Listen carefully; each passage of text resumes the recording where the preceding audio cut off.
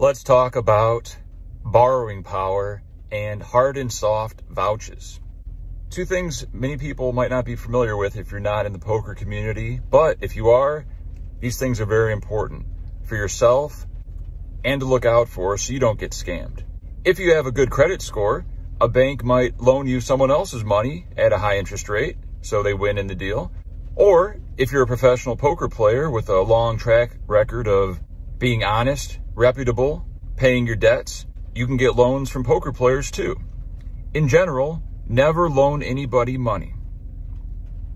Just say, I don't loan money, I don't borrow money. That's my standard.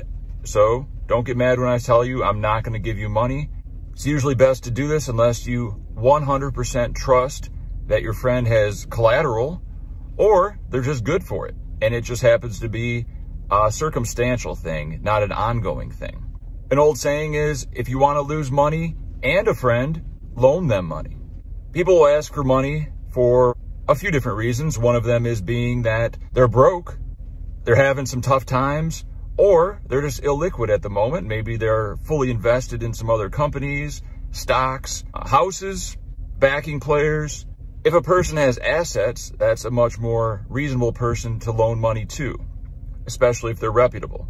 The other reason someone might need a loan is if they're in a different country, if they don't have enough of that currency, if they just happen to be on their third or fourth bullet and they didn't expect to have to keep firing in a given tournament.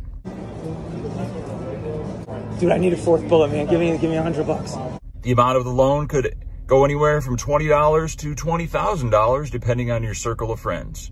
Know who you're loaning to, and if you don't, and you're worried that they might not pay you back, you can get a vouch.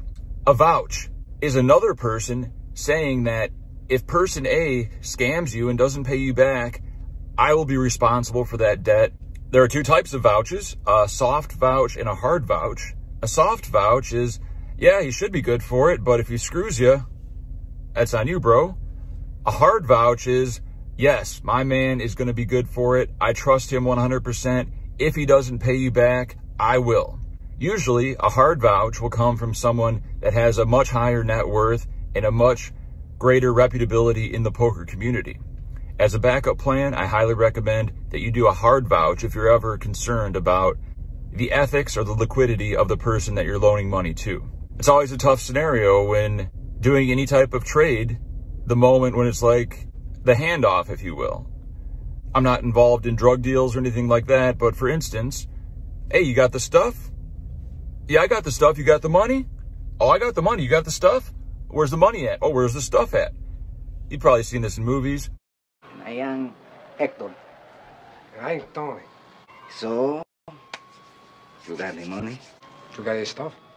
Sure, I have the stuff, but I don't has it right here with me now. I got it close by. But I don't have the money either, man. I have a close by too. The trust factor is huge, and this is unique to the poker community. Many other occupations, people can hardly trust their coworker to loan them lunch money. It's a weird world that I live in, but this is reality. As a general rule, I don't loan or borrow money from anybody because it's nothing but trouble in general. But once in a while, I'm in a pinch. I might need to borrow a couple hundred bucks just to reload in a cash game, or I just don't have, uh, you know, a thousand dollars in my wallet for bullet number three. I see a friend that knows I'm good for it. I get the money from him and I pay him back the next time I see him, or send him PayPal, ACR, whatever.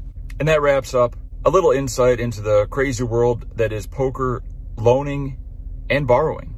Stay safe out there. You can always say no. Here is a pile of money that was given to me by a mutual friend to give to another friend. They're trusting me that this money gets from point A to point B. They don't know each other very well, but they both know me and they both trust me. It's a thing of convenience and a thing of trust. It's a weird world out there. Know who to trust.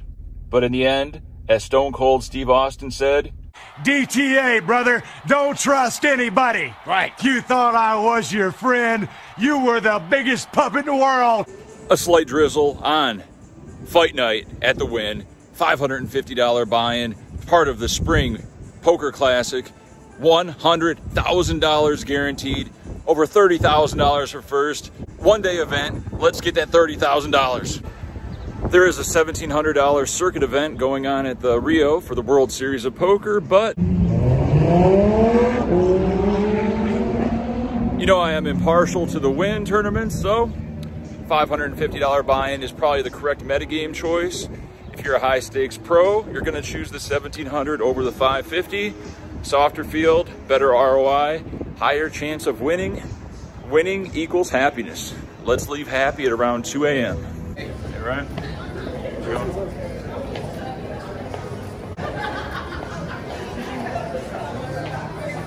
Hey, you guys running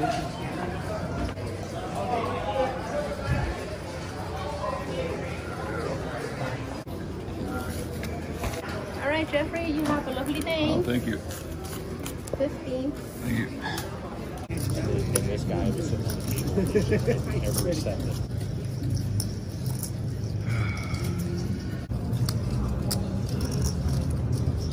With blinds at 500, 1,000, 1,000, we have folded and blinded down to 10,000 chips, under the gun plus one limps, middle position limps, and I'm in the cutoff with ace, king offsuit, 10 blinds, snap jam, we're all in. Under the gun plus one jams and limper jams. What the hell is going on? Do they both trap me? Kind of. Under the gun plus one has sevens and other guy has jacks. I think we're a favorite to hit a pair, so let's flop it. Here's the video. Three-way all in. He called. All right. Ace King looking good. There's King, let's hold. Oh, we're holding. Up there. Uh, checks. Got- what got there? Side pot. Oh, you. Oh, I won? Okay. Yeah, you tripping. I'm good. Checks All right. and With a 1,000 big blind ante, run to the gun plus one with pocket fours, uh, pretty good time to raise it up to 2,200. Action folds to the small blind who puts in the call, and big blind comes along for the ride. We're three ways to a flop of ace, queen, 10, two hearts, one diamond. Action checks to me, but we do have pocket fours, and I'm probably just gonna give up. Tired of bluffing, I'm a horrible bluffer, they always call me. The turn is the four of hearts. Bingo, bango, bongo, Vince. We've turned our set. Two flush draws on the board and the small blind. A vlog watcher from Vancouver. Leads out for 5,500. Big blind folds, and we have a decision to make here. Do we just flat call and play various rivers, or do we raise it and try to get value from all the big combo draws and two pair type hands? I decided just to flat the 5,500. We have 30K behind. Let's see what happens on the river. The river is an offsuit eight. My plan is to call if he bets 11,000 or more and to raise if he bets under that. I think a smaller bet will be more of a blocker type bet. Fours are definitely going to be good, so we want to go for max value. But we are scared of 16 combos of King Jack and 16 combos of Jack 9. We have a set, but hey, it might not be good. Small chance he's also slow playing a hand like aces, queens, or tens. So would he bet 7,000? I got the green light to go for it. A small raise size wouldn't make much sense here, so we got to go for max value. Polarize our hand to value and bluffs. He goes deep into the tank after we shove all in for 30,600. He says, I got a big hand. This is when I'm like, oh shit, he's got Jack 9. He says, you checked King Jack on the flop? Uh, I'm really never checking King Jack here on the flop, but that's just me. Maybe I should. And a few more minutes go by. I'm hoping for a call, and he eventually folds and shows ace queen offsuit. What the hell's going on? Didn't get paid. Excellent read by this gentleman. Nice. All. And we're on first break with 60,000 chips. He has more than 10 pockets. Hey, what's up? Jeff Boski on YouTube. Watch him all day. It appears that my lips are chapped. It's like a desert in here. The same guy from Vancouver just lost a huge pot the previous hand, and he opens from middle position to 4,000. Greg on my right, flat calls. We're next to act with pocket tens. I think we can do a mix between uh, calling and three betting. We don't really want to play tens three, four, or five ways.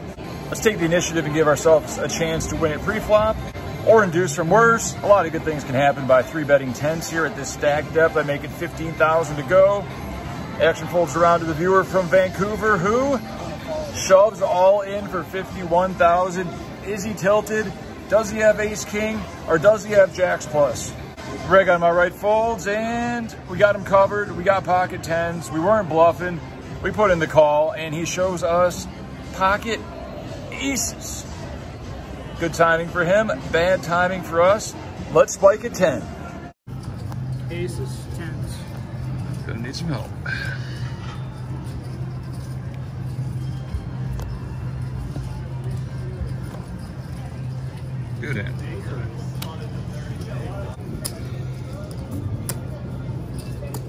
For the next hour, I find some spots to shove all in that are profitable, and everybody always folds, so I guess it doesn't even matter what my cards are. And we maintain our stack anywhere from 15,000 to 30,000.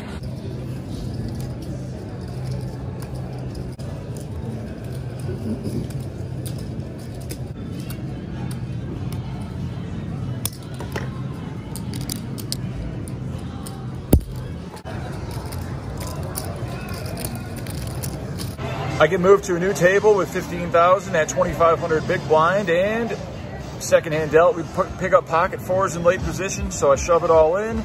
Small blind reshoves with ace queen. We're off to the races. Let's keep it low, dealer. New table, lucky hand. Oh, yeah. Oh, let's hold. Show them how it's done. Let's keep them low. Stop. Oh, oh, oh, oh yeah. That's good. Oh, oh, oh, No, that's not good. Okay, that's good. Three, four. Call. A few hands later, we look down at King Queen, offsuit, and 35,000 chips. Uh, what are we looking at? 13 blinds, 14 blinds? That's fine. We can just rip it in there. That's tournament poker for you. If you don't like it, don't play it. You got to embrace the gamble. Let's gamble. Some sort of British reg. Two to my left, puts in the call. We're heads up against ace nine of hearts. We're going to need to hit. Let's get there.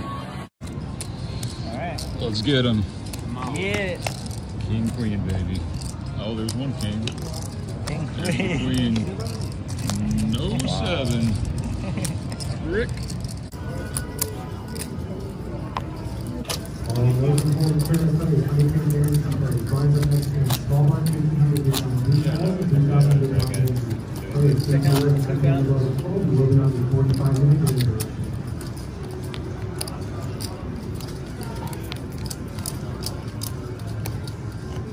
Our 70,000 stack slowly dwindles.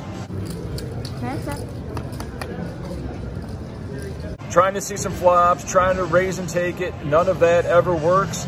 And we get down to about 35,000 chips. 50 year old Caucasian woman limps under the gun. She has about 16,000 at 3,000 big blind. I'm in middle position with ace king, 35,000 chips, easy jam, unless she's specifically trapping with aces or kings. Possible, but you never know. Action folds back around to her and she puts in the call and shows ace, deuce, diamonds. Let's hold.